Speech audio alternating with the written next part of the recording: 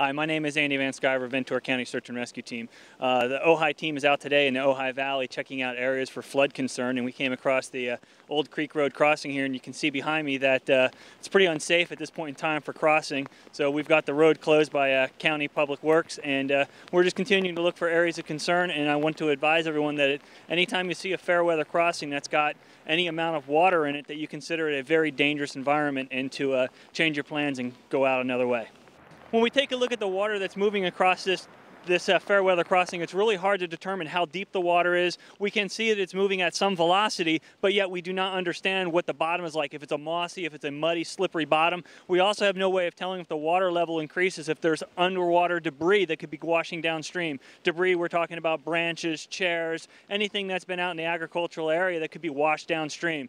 And so you could easily push off this if you chose to not drive your vehicle off across the drainage, but chose to walk it instead.